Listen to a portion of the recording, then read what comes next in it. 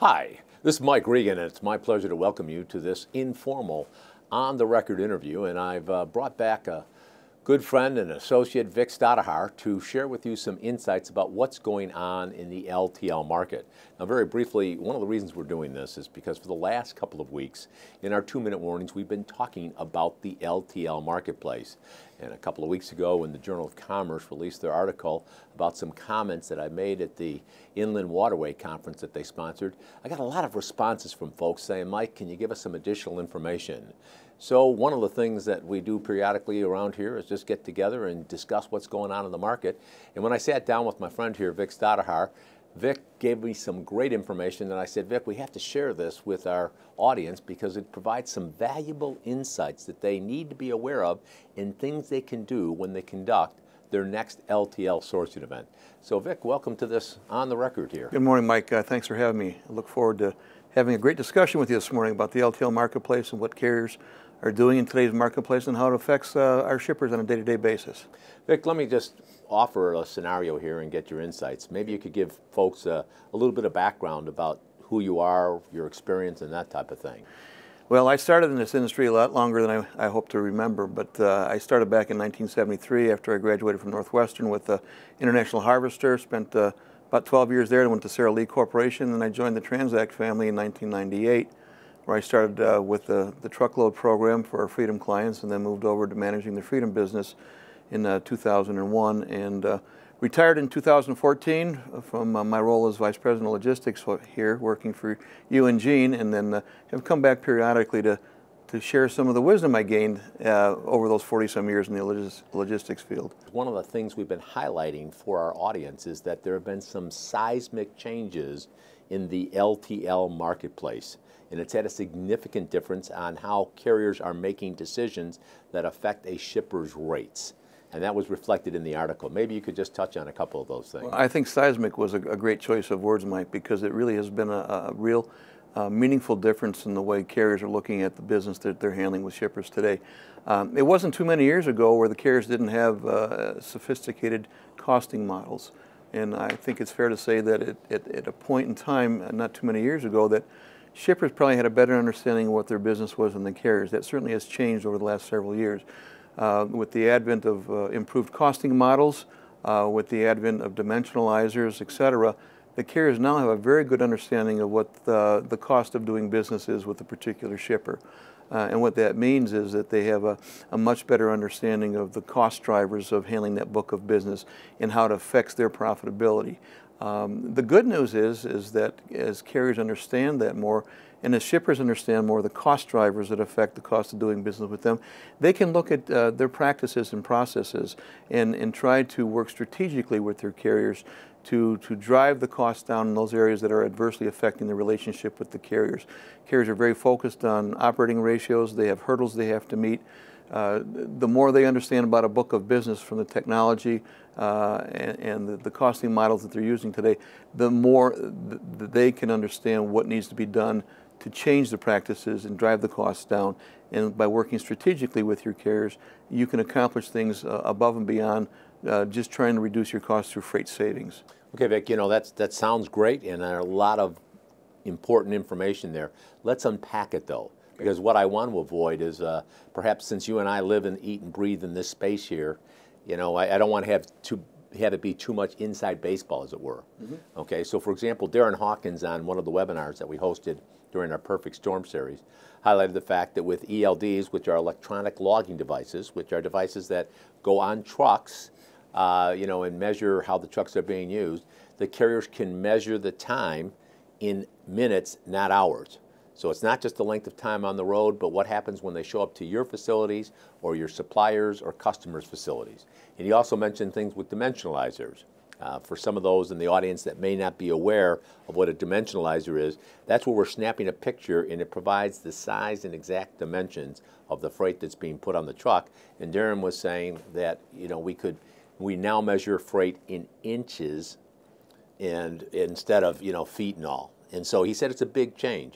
And one of the things I think you were alluding to is that today the table has turned from the perspective that the carrier in most instances has much better data about what's being put on their truck than the shippers.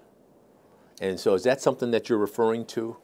Absolutely, and I would concur with everything you're saying. Uh, when you talk about uh, measuring your business in, in minutes, that there's an old adage, time is money, and that's never more important than it is in the trucking industry today.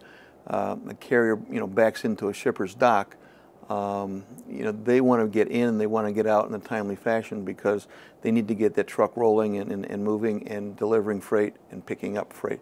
Um, to the extent that bills of lading are ready, uh, when the freight's there to be able to pick up, that's a positive thing.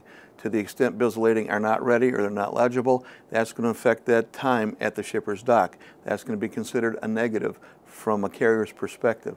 Uh, to the extent, looking at cost drivers again, uh, a carrier coming in for one bill pickup, very costly. There's a fixed cost to move that truck into that uh, shipper's facility. Now to come in for one bill, there's a, a, cost associated with that.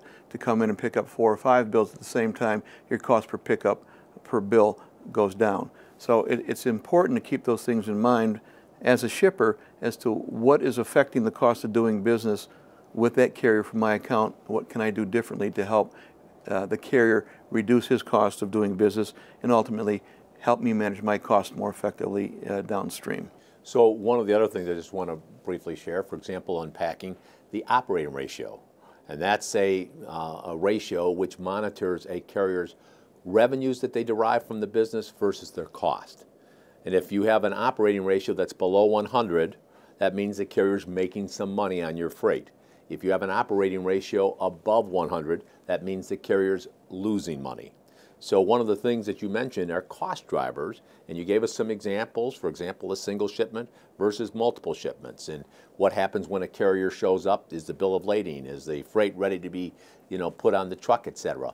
Uh, one of the things we had talked about, Vic, as well, and something that you helped prepare was this managing from the inside out book that we put together in conjunction with helping companies build a transportation spend management plan. So can you elaborate on some other, you know, when you talk about practice and processes, that sounds great, but I'm sitting out here as a, a listener saying, well, what the heck do they mean? Can you give me some practical examples of the things that I'm doing within my organization that affect my consumption of freight and the rates that the carriers are charging? One thing that comes to mind, Mike, is, is length of haul uh, as a uh, cost driver for the carriers to consider. Uh, and, and, it goes to really matching the right carrier with the right shipment. You, you don't want to use national-based carriers with regional freight. Um, that doesn't sit well within their, their footprint. It's not within their sweet spot. It's going to be a more costly type of shipment if you're giving uh, long-haul carriers short-haul freight and vice versa. Uh, can I interrupt for a moment? Just sure. I want to keep it real practical because, like I said, you and I live, eat, and breathe this stuff here. Okay. But you know, average length of haul for a, a national carrier such as a UPS, uh, YRC, or an XPO, and FedEx, etc. Old Dominion, that might be, for example, four to five hundred miles, versus a regional, which would be carriers, for example, like a Dayton or a Holland or people like that. And the average length of haul for that move might be 100 to 250, 100 to 300 miles. Is that kind of what you're talking about there? Exactly. Okay. So it's just making certain that you're using the right carrier for the right shipment. Uh, another factor that is very, very, very important today is, is density of freight. And that's, uh, that goes back to why they've spent thousands and thousands and thousands of dollars on the dimensionalizer technology to understand what the density of the freight is uh, that ties into the classification of the freight. But more importantly is the utilization of their trailers. Um, their objective is to maximize the utilization of their equipment as part of their asset utilization uh, overall program. And so to the extent that, you know, uh, shippers can positively impact the density of their freight through packaging changes, through you know palletization, and so forth. Uh, that will have a positive impact on the cost structure for the carrier.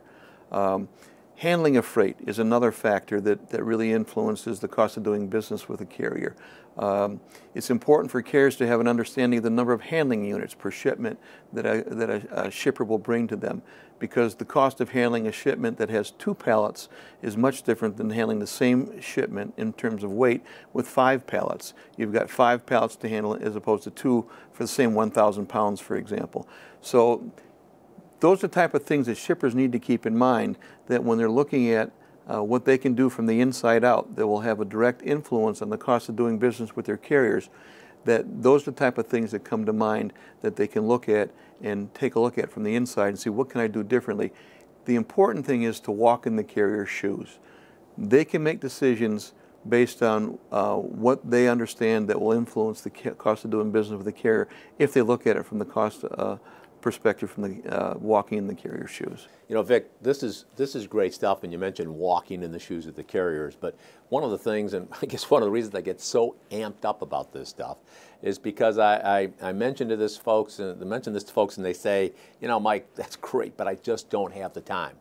And so one of the problems we see is that when you use the traditional sourcing model that is largely influ influenced by procurement-based factors it's, it's easy to overlook this. And they say, what difference does it make? So what I'd like to have you do is help those listeners out there that are saying, okay, Vic, you kind of got me intrigued. I'm maybe willing to invest the time if I've got a suitable return. How much of a difference can this walking in the shoes approach make in terms of the rates that a carrier provides? I think it can make a huge difference. And, and the reason is that when the carriers will look at a, at a new book of business, um, they need to understand um, what is really involved in handling that book of business so they can put the information into their costing models and understand what they're getting into.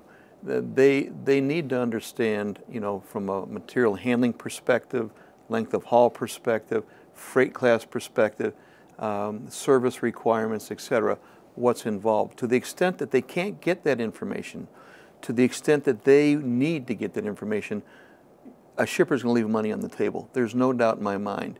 Uh, Two percent, five percent, ten percent. Well, I think it can vary on the on the book of business, but it can be uh, upwards of, of, upwards of ten percent, I believe, if you don't provide the carriers the information they need. Because what a carrier is going to do is say, if I don't understand the business, I'm going to be risk aversive.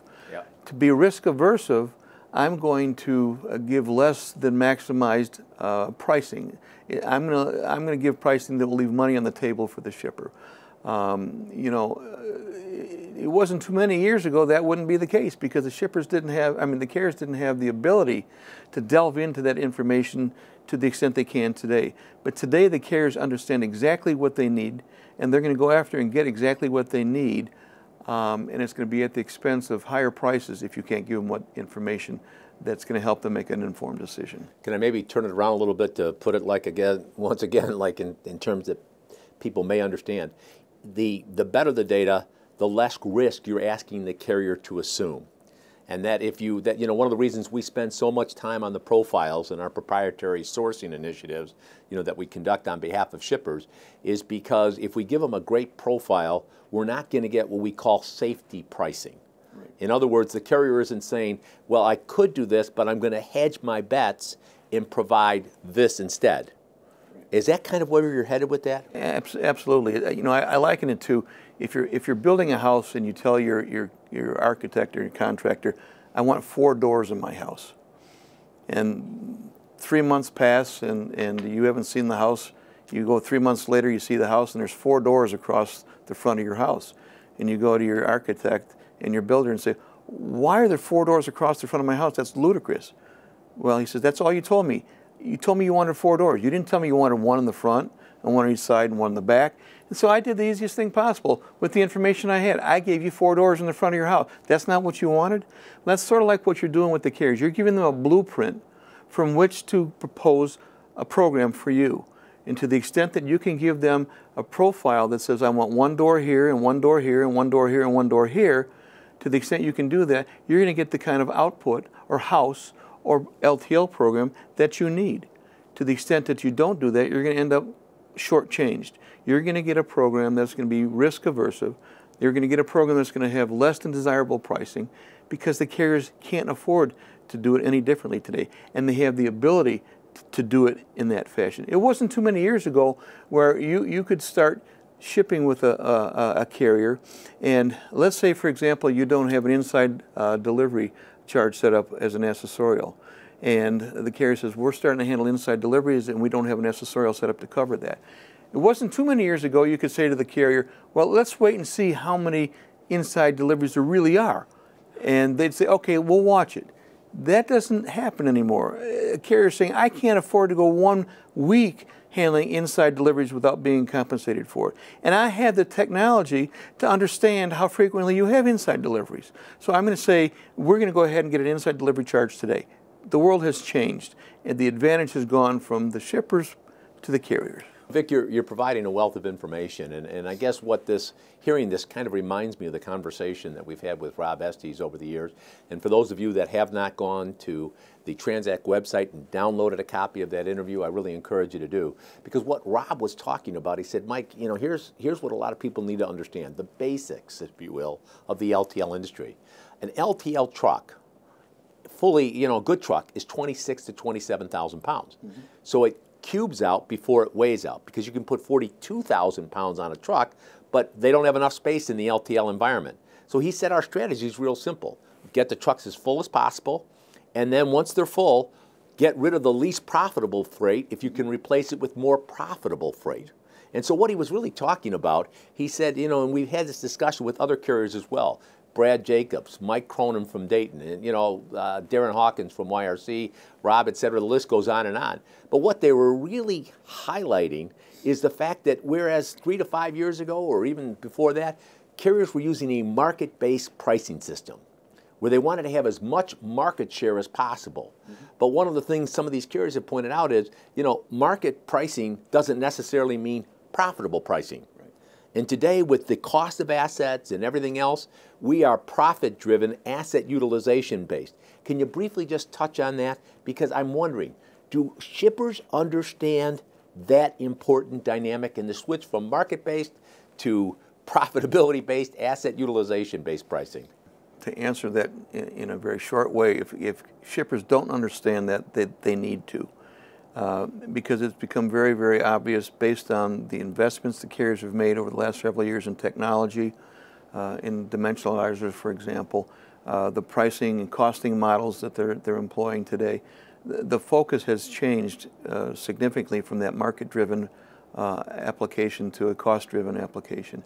To the extent that shippers can provide the carriers with the information they need to make informed decisions about that book of business, uh, they will ultimately benefit themselves. To the extent that they don't share that information, as we talked about a few moments ago, the carriers are going to be risk averse, risk aversive, and shippers will leave money on the table. There's there's no doubt that that's going to take place. It's just uh, a reality of the marketplace today. So, five, ten percent, that type of thing. If I, I think it, at least that much. In some cases, it could be more than that. Absolutely. Okay, so Vic, let's let's wrap it up. And so, some practical steps and tips for shippers. First of all, make sure that the profile you're putting together for your carriers is as accurate and complete as possible. Yes? Absolutely.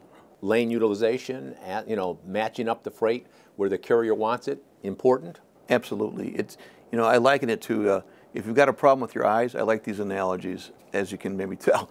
But if you have a problem with your eyes, you, you don't go to a foot doctor you go to an optometrist or an ophthalmologist for your eyes. And the same thing is true with the carrier selection. You, you don't want to go to, a, as I said, a long haul carrier, a national carrier for regional freight and vice versa. You want to match it because there are sweet spots within their networks uh, that will return the kind of uh, uh, results the carrier is looking for. If you're not using the right carrier for the right freight, you're going to have less than an optimized solution. And just to underscore, Vic, you know, recently, uh, four or five months ago, a carrier walked in on a multi-million dollar book of business that they had and said, here's an increase, double-digit increase, you know, 14, 14 and a half percent. We said, you know, that's just not going to fly. And they said, here's what you can do. Eliminate three lanes, about 20% of the book of business, eliminate three lanes, and that 14, 14 and a half percent increase will drop down to 3%. Amazing. It's kind of counterintuitive because you would think that, well, if you pull business away from a carrier, it's not going to be to your benefit but you know more of a bad thing is not a good thing. So to the extent that you can identify freight that doesn't fit well within a carrier's network, that's costing them a lot to serve, uh, and remove that and give it to a carrier where it does fit well into the network and it does meet their operating requirements and their economic uh, objectives, you're going to benefit. Okay, one other thing here we touched on earlier, I just want to give a practical example. Density. Understand your density. Big, Absolutely, bigger today than it's ever been. So, Vic, you know, one of the other things we're seeing for people, uh, we've encouraged them really understand the accessorial issues that carriers incur in serving or attending to your book of business. Big deal? It's become, it's become a very big deal. I think the carriers have taken a page from the airlines and all the accessorials, if you will, the airlines charge their customers, where you see a, a very low uh, fare from point A to point B, then all the accessorials add up to it, and all of a sudden you've got a fare that's much different than you thought initially. The carriers basically are making certain that they're getting compensated for anything they do to handle a piece of freight. There's nothing wrong with that, but you need to understand that. You need to understand things that you might be able to uh, do in, in the past. Today, if you're asking a carrier to provide that service, you're going to pay for it. The best thing to do is understand uh, from your own particular book of business perspective, you as a shipper, what accessorial services you require from a carrier, yeah. and the order of magnitude. Now, if you have inside delivery or lift gates, do you have three a year? do you have 3,000 a year? It makes a big difference as far as the cost implications and the, the wherewithal that you have to work with the carriers in handling that effectively. You know, just to underscore that, Vic, uh, one of our freight audit and payment customers came to us asking for help. You know, they know we're, we've done billions of dollars worth of sourcing events. And they said, you know, we've got a proposal here from the carrier. It looks pretty good on the surface because what they're doing is reducing our line haul rates by 3%. But they wanted to change the accessorial schedule. Can you help us understand the impact? And when, believe it or not, Vic, when we went and did the analysis, their freight costs would have gone up by as much as 7% based on the increased accessorial charges that the carrier wanted to provide. And the carrier's logic was this, is that the line haul is, you know, will be real competitive there. But those accessorial charges are critical because they represent costs we're incurring that we need to be compensated for. And like you said, it's not an issue anymore. Well, let's see how it plays out. The carriers know. And that's why I think, you know, we want to make sure everyone's aware of that. Uh, so, Vic, we, we've covered a lot of stuff. Is there anything that we've missed that you think people ought to be on the uh, alert for as they head into conducting sourcing strategies in 2020? Well, I think in addition to making certain that you really truly understand your business and what your business is comprised of so that you can effectively communicate that to the carrier so they understand it as well, I think it's equally important to, to as a shipper to walk in, in the carrier's shoes, to, to look at you know situations that you encounter from the carrier's perspective, understand how they would look at it. Um, I, I think it's important for shippers to, to look at working with carriers in a, in a, in a strategic partnership environment as opposed to uh, the traditional way of doing business um, that doesn't exist any longer, in my opinion. Um, so make certain you're looking at it from that perspective. I think you'll be okay. Let me give you a practical tip to close out, and maybe you could say, you know, preach it, brother, or amen, or whatever. But you know, when you say walk in the carrier's shoes, when people come to me and talk to me about their sourcing events, and one of the major, major fallacies that I could tell them, you know, when they say, how can we get better? If it's a procurement sourcing event, one of the things they frequently overlook doing, which is why I encourage everybody, whether you use us or anybody else or do it internally, one of the things you need to do before you conduct your sourcing event, go to your carriers and ask them to share their operating ratio data. And a couple years ago, you helped us prepare this great little white paper that's been read by you know, close to 5,000 people, where we have an example of an operating ratio worksheet in the booklet. When we talked about how you can, you know, get, you know, conduct world-class LTL sourcing initiatives, we have that. Is that kind of like a great tip for helping them walk in the carrier shoes? Look at the operating ratio data before you start your sourcing event? Absolutely. And I think some carriers might be reluctant to share that operating ratio information with you.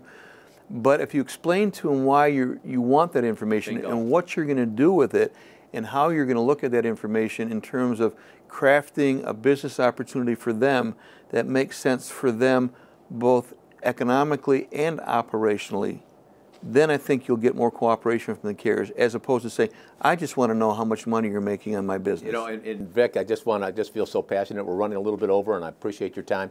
But one of the reasons we encourage people to do just that is because the practices we're trying to identify in the operating ratio are what we call agnostic. It's not carrier specific. If you're giving a carrier one package or two package versus five packages, you're not just giving it to carrier A or carrier B, you're giving it across the carrier base usually. And that's what we want to do, and that's why we encourage people when they put those profiles together, if we can get the operating ratio data, it will identify some practices that we can give the carriers information about so that they can make an informed pricing decision, no safety pricing, give us actual, this is what it's going to cost to do business with us, Right. and you've got the best possible rate. Is that kind of an accurate but prolonged summary? I agree 100%. Okay. Hey, Vic, thanks for your time. And for those of you that want more information, we encourage you to go to transact.com, uh, whether it's in the Perfect Storm Center or if you have information that you just want to call and ask about. We'd welcome the opportunity to continue this dialogue about how you can get the best possible LTL rates in the marketplace. Thanks for your time.